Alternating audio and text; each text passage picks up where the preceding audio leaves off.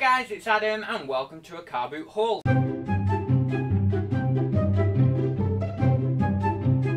Do you want more great content from me? Check out the description box down below. So today I went to an indoor car boot and I got quite a lot of items. Mainly bread and butter, however there are a couple of nice finds in there. Well, specifically one find that I'm really excited to share with you. I'll leave that for a little bit though because I've got plenty of other bits and bobs to show you. I went, yeah, I don't know whether I just, I, I literally forgot what I just said. But anyway, if I didn't say it, it was an indoor car boot opposed to an outdoor car boot. Literally, my memory is like three seconds. I did not even remember if I had said indoor car boot at the start of this video. But anyway, um, yeah, really, really nice, uh, you know, bread and butter finds. Um, happy with what I got. I, I spent £36.50 on all of this stuff. It's crazy considering the amount of stuff I got, to be honest. Um, so yeah, anyway, without further ado, I'll get straight on with it. I'll share a bit of a fail first off. Or, well, not necessarily an outright fail, but it might be. Um, I paid £2.50 for this Peppa Pig thing, but this comes off, like this just comes off.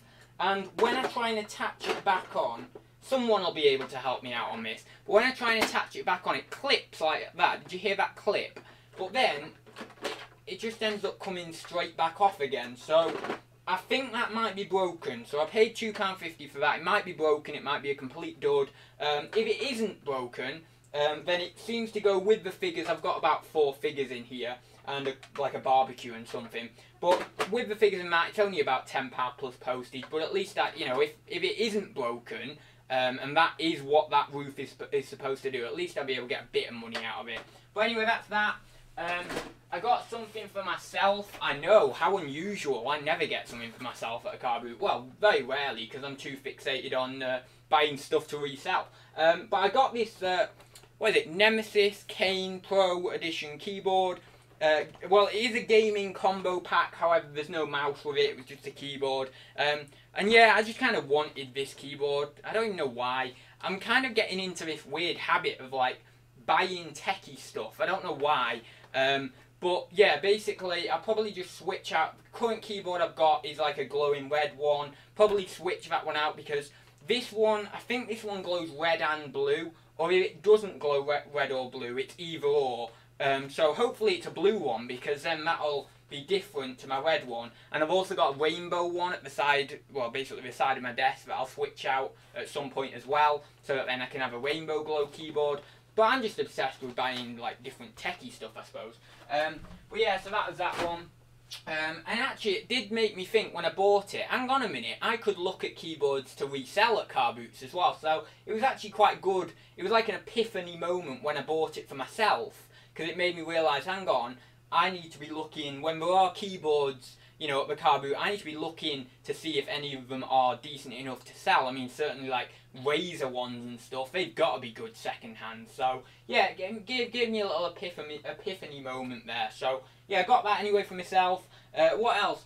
Oh, the guy said I can have this. They, well, I can have this for two quid, not just have it, but I can have this for two quid. It's a Sony speaker docking system. It has a power lead that is down there. I'll get it in a second. It is a Sony branded one. Um, and basically, it wasn't that I was wanting. It wasn't that I was wanting. I was wanting this. Now this, I believe, is an iPod Nano, an iPod Shuffle. I think it's a Shuffle. Um, and it's a pink one. Now, as soon as I saw this, because I've never seen these in the wild, I don't know why, but you'd think I'd see them all the time, but I've never seen one. Um, but I remember ages ago, I think it was Zahir, who said, who said that like the first generations of these or the second generations or whatever, you can like trade them into Apple or something like that and get like certain amount of money for them. So you could either basically like list them on auction on eBay and then like people will buy them to then get a little bit of profit sending them into Apple or whatever and then like getting some money back for them or you can like just send them into Apple or something. But I don't know. I don't know whether that is this is the generation that is that. But either way, I thought I'd take a punt on it. Uh, they said it's working but needs a charge. I don't know whether it's working to be honest. Um, but I thought at two quid, I've got this, and I've got that speaker system, and I've got, as I say, I've got the charger for that speaker system. So I thought, if the speaker system works and everything, I've got my two quid back in that, surely. So I thought, yeah, I'll, I'll take a punt on this one. But anyway, I don't know. Someone will probably throw down below in the comment section about that kind of generation thing with these, and whether that is actually a thing, or whether it's me just, like, remembering the situation the wrong way round or something. But yeah, anyway, that's that. So got that a little bit outside my comfort zone, really. I mean, yeah, okay, I deal in electricals and stuff, but not necessarily iPods and iPhones and all that sort of stuff. That's a little bit outside my comfort zone. Anyway, that's that. Um, I'm not going to get all this out because actually it goes funny with the green screen. Well, you can actually see here, no, there, that is actually green. So there's not much point me getting this out because it, half of it is just going to be invisible on the green screen. But basically, well, I'll get this first bit out because this won't be invisible. Well, the bottom bit is. Uh, but it's a zoo. It's like a little zoo set. Uh, I don't know what the brand is, if any. Oh, it's a early learning centre, so that's all right. Um, so yeah, there's loads of different bits and bobs in there, and there's loads of different animals and stuff.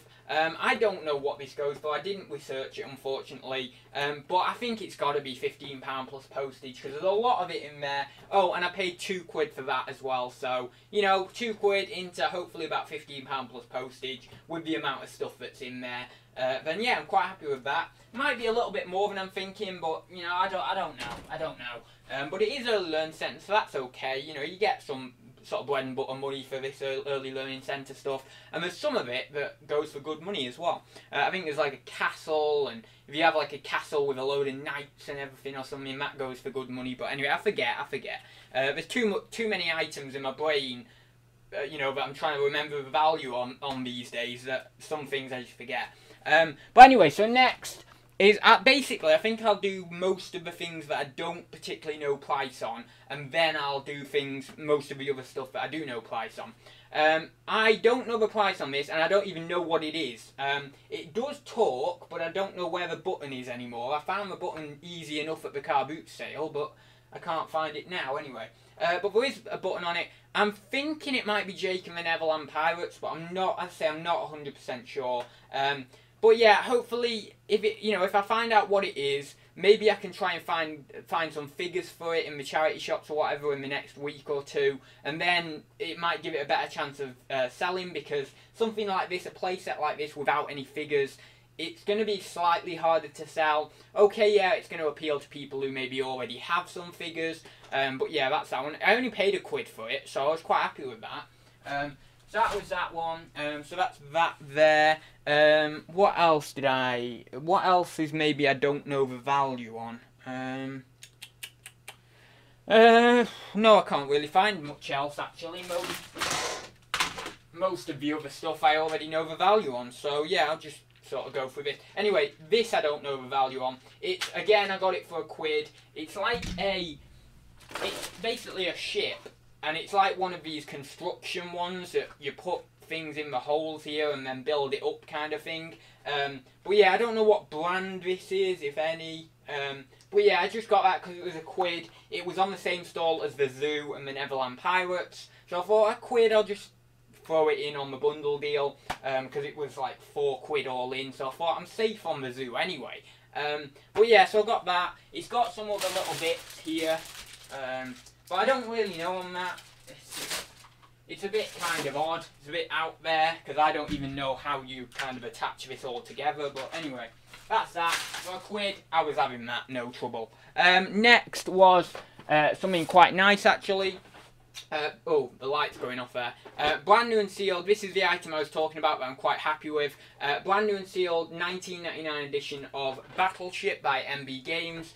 Really, really happy with this. Goes for 50 quid on Amazon, but unfortunately it has quite a high rank.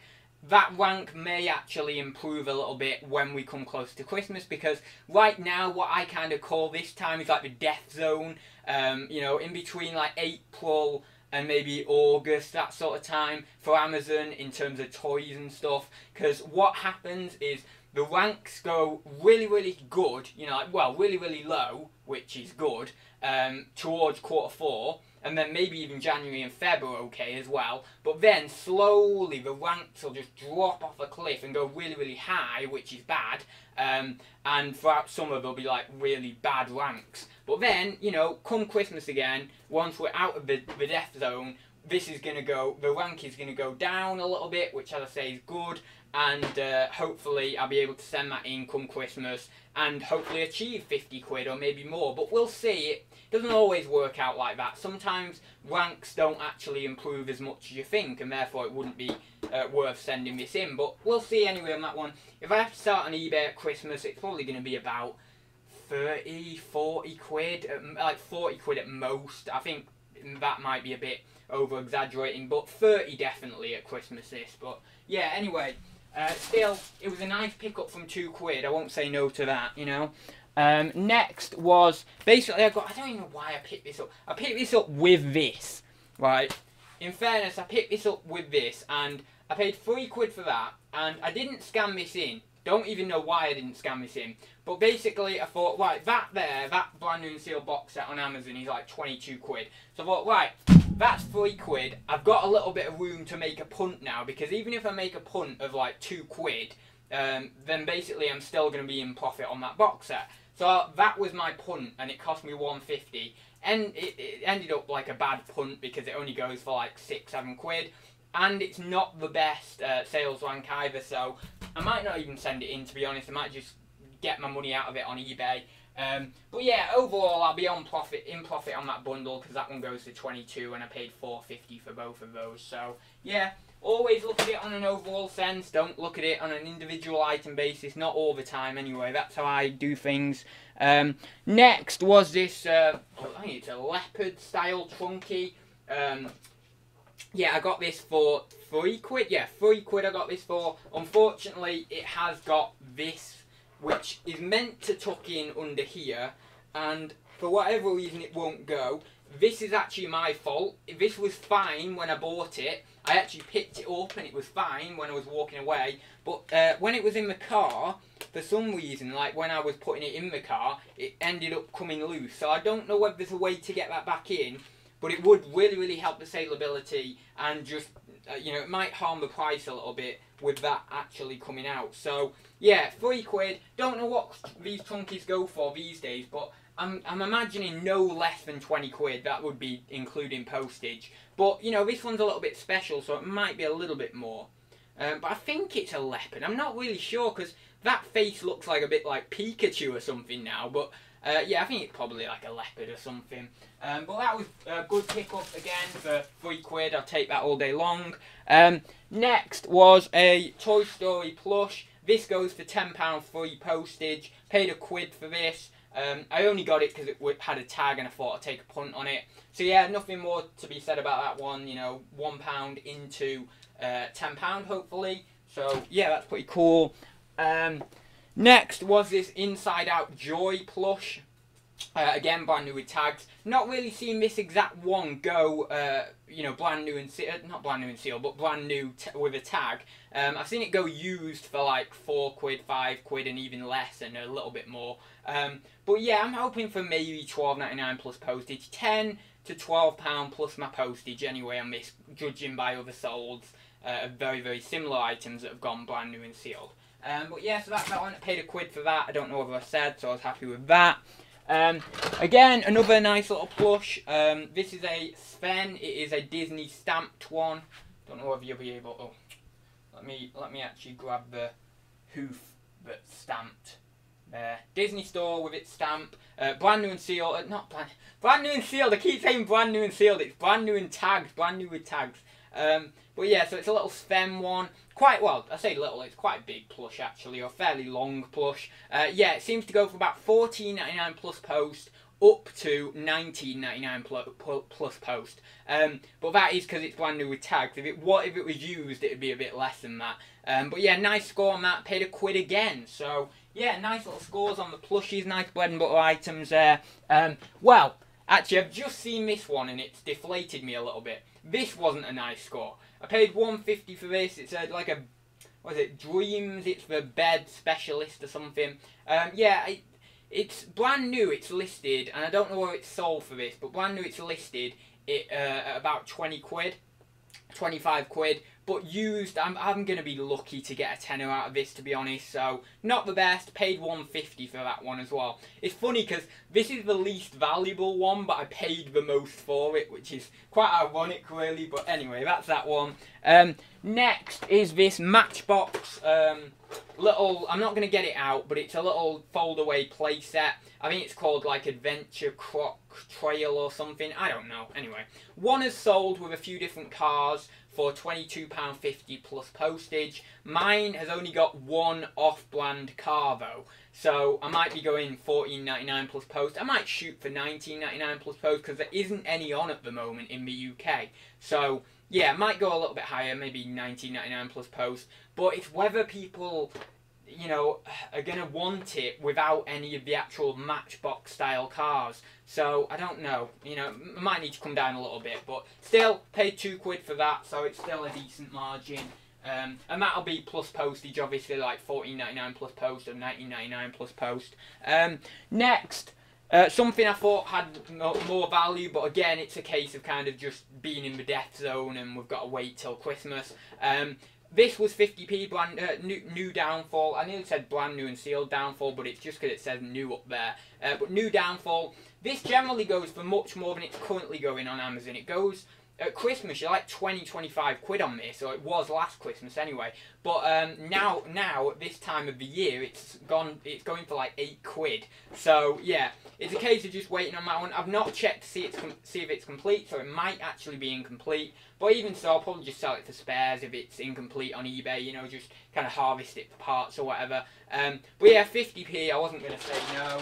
So that's that one. Uh, nice little profit, you know, come Christmas time. Um, Next was a little Tonka truck uh, mudslinger. This one's called. Don't know if you're going to see that there on the bottom here, mudslinger. Um, yeah, none have sold. I can't see any listed or otherwise. Um, so probably going to go seven quid plus post. Maybe shoot for a tenner plus post on that. But it's going to be in that range. I wouldn't want to take much less than that for that because it's quite nice, uh, quite well built, quite strong, and Tonka is a good brand. So you know, I'll probably go around that anyway. Um, so that's that one anyway. Oh, paid a quid for that. I don't know what I said. Um, next, uh, something I probably paid a little bit too much for again, uh, but three quid I paid for this. Um, none have sold brand new and sealed, which is quite odd. One is on for brand new. This is brand new and sealed, by the way, on eBay. Um, one is on brand new for 23, and one is on brand new for 42. I don't think they're achievable personally. I think maximum you're going to get on this brand new and sealed, even at Christmas time, is going to be like fourteen ninety nine plus post. So uh, yeah, I'll probably go for around that. Maybe let it sit for a while, or if I want a quicker sale, maybe 12 99 plus post, something like that. But I really don't think forty two quid is achievable, or even to be honest, twenty three. Uh, maybe at Christmas time that twenty three, but it, it seems a still seems a bit too much in my opinion.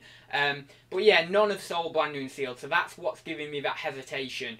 Um, but yeah, anyway, I will price competitively on that one, and then hopefully it will sell. Um, so that's that. Uh, oh, did I? Yeah, I said three quid on that one, so I paid a little bit too much. I would have been more comfortable at two quid or one quid, um, but I did end up paying it in the end. Um, next is this Mike the Knight um, combo. It's got the sword and it's got the hat or the helmet. Yeah, pretty cool this. I paid two quid. Uh, gonna shoot for maybe twelve ninety nine plus post. I've seen someone get ten pound plus post, and I think I've seen someone get twelve ninety nine plus post. So yeah, that's what I'm gonna shoot for on those. Nice little bundle, nice little thing to look out for, especially if you can get it for a quid or something like that. But yeah, I did pay two quid for it, but I thought, you know what? I've seen that on someone's video and uh, I thought, yeah, I'll pay two quid, just whisk it, you know, take a punt on that. So, yeah, quite happy with that one in the end anyway. So about twelve ninety nine plus post on that from two quid. So that's pretty cool, nice bread and butter item.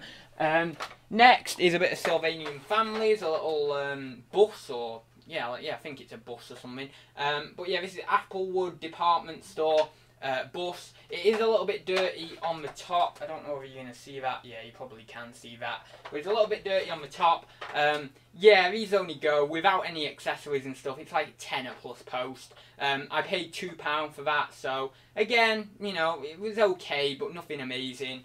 Um, so that's that one. And then finally, uh, no, not finally, there's another couple of items actually. Um, we've got this 2003 Toy Biz uh, car. There's one on for 55 and then there's one on for... It's kind of weird the price difference in these. There's one listed for 55 and then there's one listed for £12 plus postage. I think realistically the guy with £12 plus postage is, you know, more on the money. Maybe maybe you could shoot for fourteen ninety nine or so, maybe twenty. Um, but really, this doesn't. This is meant to have a figure, and it doesn't have a figure. And the two guys that have got them listed, they don't have the figures, I don't think. So really, if you get the figure, it, you know, it might go for maybe 20 quid, something like that. But it's very hard to determine because there's no solds I can see on this. So it's kind of just a guessing game with price, you know, and just hoping someone comes along and uh, kind of pays the money, really. But yeah, that's that one. Um, and then finally, I've got a few jigsaws, brand new and sealed jigsaws.